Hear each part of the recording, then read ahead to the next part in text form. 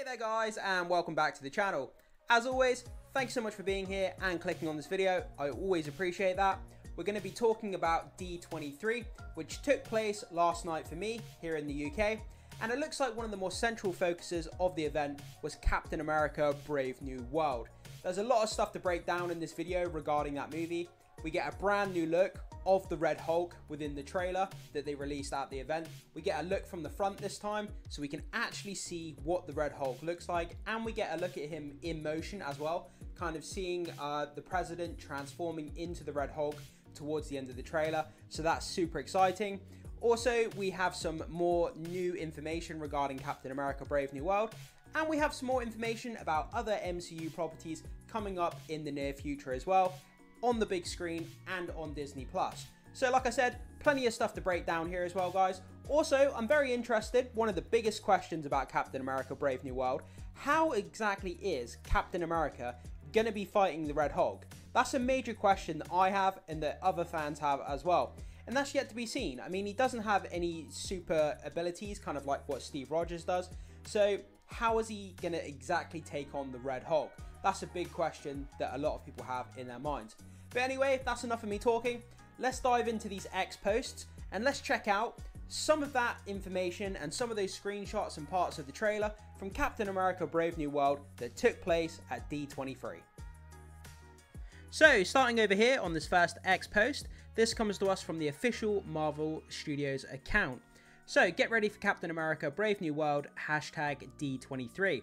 And as we can see, we've got a proper screenshot here from the actual event that took place last night and is showing Captain America Brave New World up on the screen. There was over 12,000 people in attendance at the event, so it was pretty extensive and it looks like this Captain America movie is getting a great marketing push. It looks like it's the start of kind of a new chapter, going back to that kind of Civil War take, um, Winter Soldier, the kind of the more grounded um, approach to the MCU properties. But yeah, like I said earlier in the video, I am excited to see this. Um, I hope they do a good job with it. Captain America is obviously a staple of the MCU, so let's hope that they can fulfill the shoes that was left by Steve Rogers. It's going to be a tall task, but I'm sure they can do it. So let's move on to the next X post. So over here, uh, this comes to us from Rockham Socks. I, quite, I quite like that username. So Anthony Mackie hits the stage to talk about Captain America Brave New World hashtag D23. And again, we get a, uh, a look at the kind of the screen with Captain America Brave New World. We've got Anthony Mackie on the left, then we've got the shield on the right, and we've got the Hulk's hand kind of grabbing around the shield. We've already seen that kind of logo uh, over the past few months as it was leaked online. On to the next picture. So we have Anthony Mackie here with uh, Kevin Feige, obviously the arbiter of the MCU. They're on stage, probably talking about the movie, hyping it up, you know, potentially talking about things where people have, you know, questions about the movies uh, kind of fulfilling in that information that people want to know about. And obviously, they're doing a huge marketing push here. The movie comes out in February. So, uh, you know, they really want to hype this movie and uh, get people on track with it. So, that's kind of where we are uh, for those two posts. On to the third one here. So, this is where it gets really juicy and interesting. So, this comes to us from Zero. Red Hulk looks amazing, hashtag D23. So, this is where we get our official look at um, not official. I shouldn't say official because it's a leaked um, leaked footage, so it's not official. So do excuse me on that. But yeah, anyway, so this is the Red Hulk. This is a great look from the front, and uh, it's only nine seconds long, and uh, hopefully I don't get copyright strike. So let's play this footage quickly.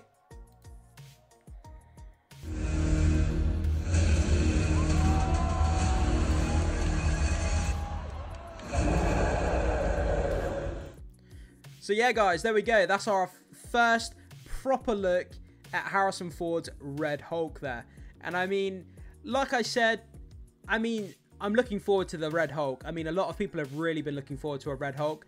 But seeing the Red Hulk on screen, I have to admit, CGI looks a little bit crazy. It looks a little bit weird to me. Seeing a huge red monster, the human brain kind of processes that in a strange way and it doesn't always work out. That kind of uncanny valley uh, CGI prospect and uh, I'm sure it'll look great, and I'm sure it'll be great within the movie.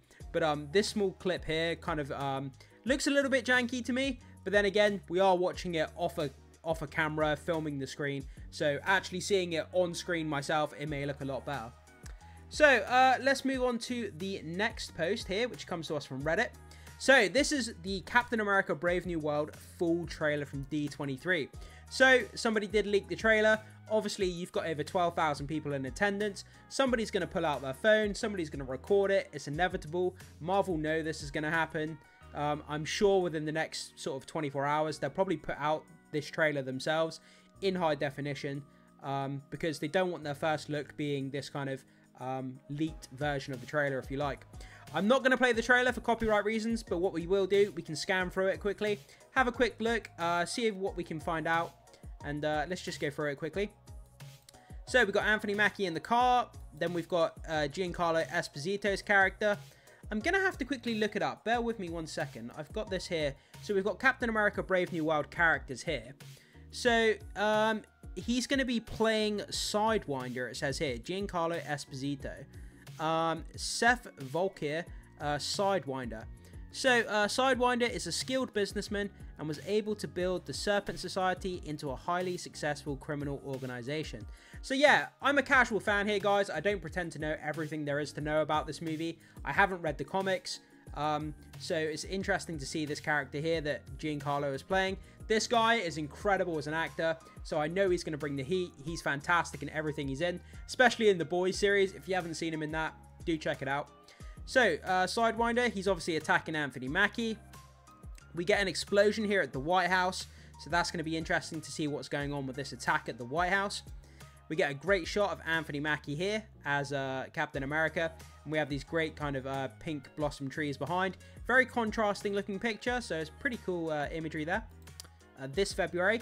It does come out on Valentine's Day, I believe. So if you have a significant other, you know, you can go and watch a romantic uh, movie here, Captain America. so we have Anthony Mackie in the White House. He's going to find uh, Thaddeus Ross. Um, going to speak to him about what's going on. And let's keep skipping through.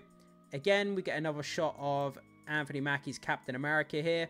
Um, it does look kind of cool, this imagery, with these kind of uh, blossom trees behind. I think it just looks really cool, the imagery. We get a great fight scene here with Anthony Mackie fighting some guys. Um, I don't know if this is in the White House or somewhere else. I do apologize. I know it's filmed off a screen. It's probably hard to see, so I do apologize. But we have to do the best with what we've got here, unfortunately. Um, let's keep going. Anthony Mackie. Um, yeah, so Anthony Mackie flying around in his uh, wingsuit. It doesn't feel like Captain America to me, I have to admit. Um, so I don't actually see this as Captain America. I still see it as Falcon. Um, it's hard not to after we're so used to him being the Falcon character. Um, and we've got this other character here, which is Falcon. Um, who is this character? Let me just have a look quickly. It is Joaquin Torres or Danny Ramirez. Okay, Joaquin Torres. That's interesting. I didn't know what his name was. So, fortune uh, favors the uh, brave. Again, Thaddeus Ross.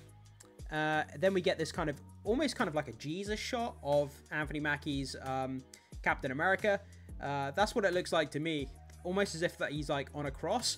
Maybe that's just me, but um, that's kind of what comes to mind in that imagery.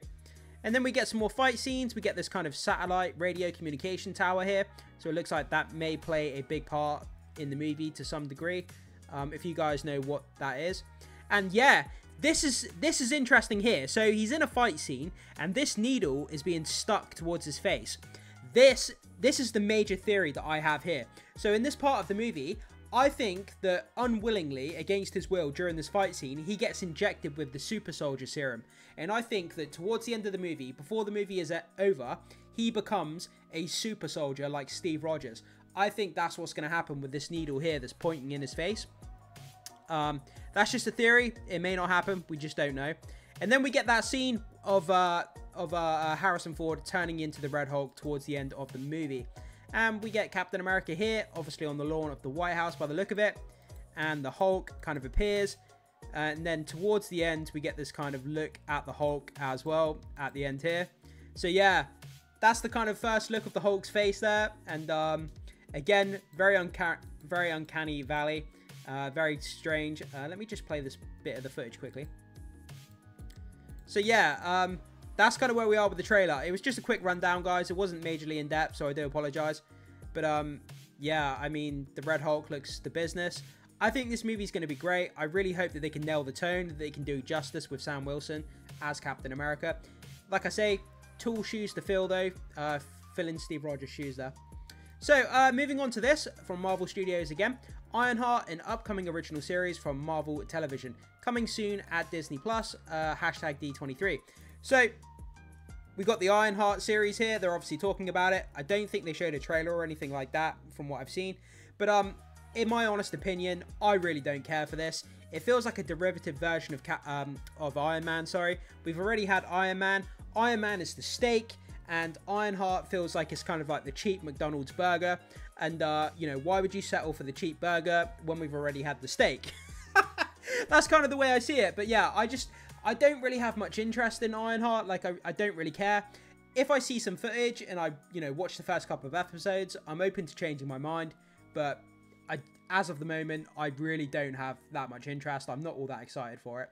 You guys may feel different. If you do, let me know in the comment section.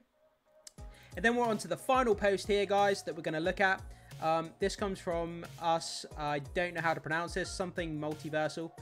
Um, and we have Florence Pugh here. This was a sizzle reel that was showed um, within the event at D23, and it showed us a fresh look at Florence Pugh, obviously coming from the Thunderbolts movie. So, uh, yeah, you know, Florence Pugh here, I mean, she's great. I mean, I can't wait to see her. She's a fantastic actress, and um, I'm sure she's going to kill it within the Thunderbolts. But it's just a screenshot here, um, like I said, from that sizzle reel, showing us uh, Florence Pugh in the Thunderbolts. So, um, that's kind of where we are, guys. So, um, yeah, that's kind of all the information there that we've got from D23, and uh, that's kind of everything that we've had to look at. So yeah guys, that kind of concludes our look there from the D23 event of Captain America Brave New World. And I have to say, there's two kind of nitpicks that I have here about the movie. This is just my thoughts and opinions, you guys may feel a little bit different. So the first one, the CGI on the Red Hulk transformation that we just looked at, I have to admit, even though it's badass, having a Hulk in any MCU project is always a win in my mind. But the CGI on the transformation looked a bit janky from my perspective. You guys may feel a bit different on that, but I hope they do touch it up a little bit before the movie comes out. That's just my opinion, that the CGI looked a little bit strange. But then again, seeing a giant red monster on screen, the human brain is going to kind of process that in a strange way. So uh, that's kind of my thoughts there anyway. But the second thing, I don't see Sam Wilson as Captain America. That's not a knock on Anthony Mackie betraying uh, Captain America, but for me personally, I don't see Captain America as someone who has a suit with wings that flies around in the sky. To me, that isn't Captain America. That isn't what my brain thinks of when you say Captain America. It's just a nitpick. It's not going to make the movie bad. Um, he could portray the character amazingly. But um, yeah, for me, I just don't envision Captain America as someone with a wingsuit flying around. And uh, just a nitpick. Again, you guys may not agree with me. You guys may have a completely different thought on that. But that's just my two kind of nitpicks with what we've seen so far.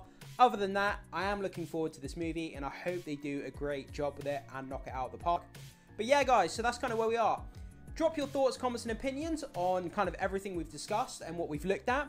Let me know what stood out to you. What were the positives? What were the negatives? What did you think looks good? Or do you just not care about this movie whatsoever? Can't wait to hear what you have to say. Thanks so much for watching, and I will see you in the next one.